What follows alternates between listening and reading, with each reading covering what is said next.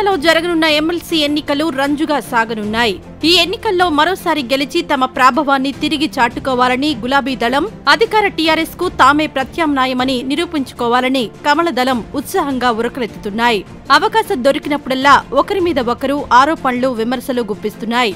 గెలుపు కోసం ఉన్న అవకాశాలను రెండు పార్టీలు బాగా వినియోగించుకుంటూ ఉండగా కాంగ్రెస్ టీడీపీలతో పాటు పలు పార్టీలు తమ వంతు ప్రయత్నాలు చేస్తున్నాయి.